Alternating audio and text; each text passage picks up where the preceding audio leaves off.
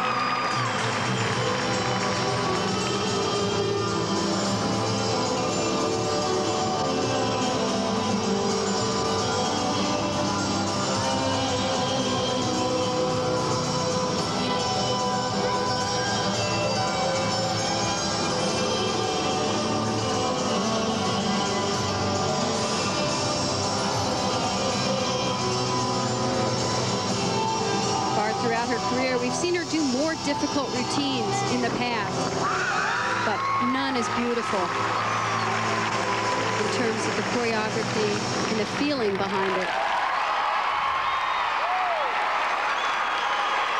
And she really seems to be enjoying herself, known for many years as one to not smile too much. These tours are really allowing her to bring her personality out. She has kept alive the artistic side of the sport and hopefully inspired young gymnasts to perform not just difficult skills, but beautiful gymnastics. Now we go over to the high bar. This is six-time gold medalist Vitali.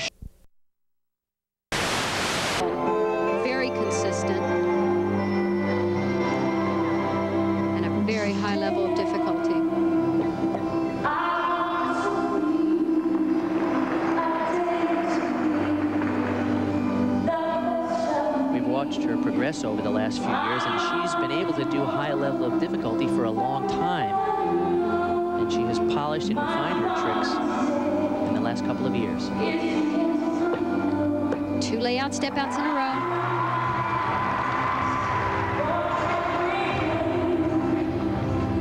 Can't you just see the confidence growing in her? She was always so shy and unassuming, and she really is a performer now. She's also coached by Peggy Liddick. She's the assistant coach to Steve Nunno, and she has done an excellent job with Shannon's balance beam and floor exercise. There's Steve Nunno.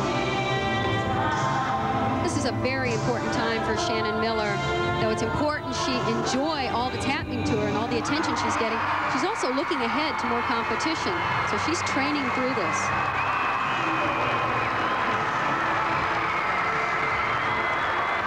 What's really important here, and this is for all the Olympians or Olympic medalists, once you have won that Olympic medal or been part of the Olympic Games, it's in history. It's a part of history.